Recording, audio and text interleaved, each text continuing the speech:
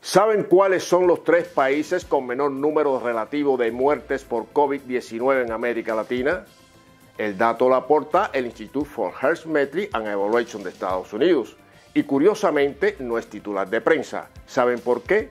Porque son Nicaragua, Cuba y Venezuela, países sometidos a sanciones o bloqueos de Estados Unidos y con políticas sanitarias de orientación pública. Hablemos de libertad de prensa en Rusia y en Estados Unidos. Vladimir Putin atendió durante una hora a todas las cadenas occidentales para informar sobre su reciente encuentro con Joe Biden. En la rueda de prensa de este, por el contrario, los medios rusos fueron vetados. Otro ejemplo de libertad de prensa Made USA. Emily Wilder, corresponsal de la agencia estadounidense Associated Press de religión judía, ha sido despedida por sus críticas a Israel en las redes sociales. Un informe reciente de la OIT y UNICEF nos dice que en América Latina y el Caribe hay 8,2 millones de menores que trabajan. Si en Cuba hubiera cifras significativas de trabajo infantil, no les quepa duda, leeríamos extensos reportajes sobre uno más de los síntomas del fracaso comunista. Pero si en Perú hay en la actualidad más de un millón de niños y niñas que trabajan. ¿Por qué no hablan del fracaso del sistema capitalista? La Unión Europea ha impuesto nuevas sanciones a Bielorrusia por la detención del opositor de ultraderecha Román Potrasevich, tras ser desviado un avión de la compañía Ryanair. Para Bruselas fue un ataque a la democracia, a la libertad de expresión y a la soberanía europea.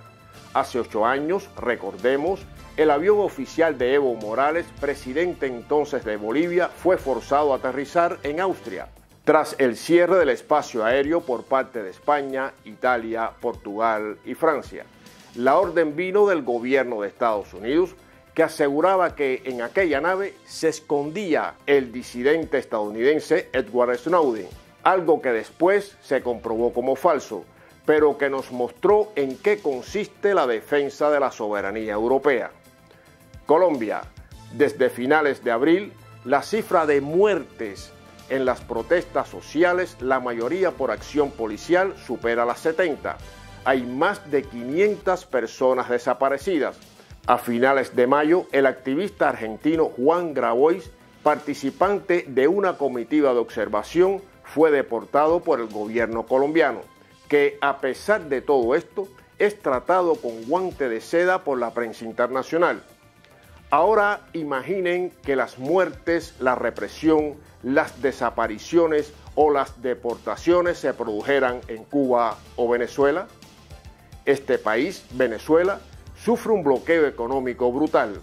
No solamente esta nación petrolera, debido a las sanciones, ha estado 14 meses seguidos sin vender un barril de petróleo.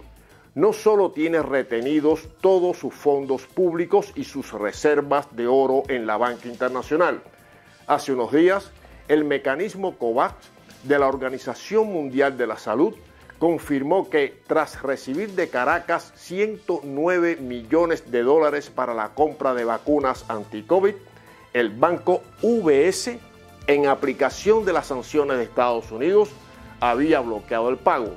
Escándalo mediático, cero.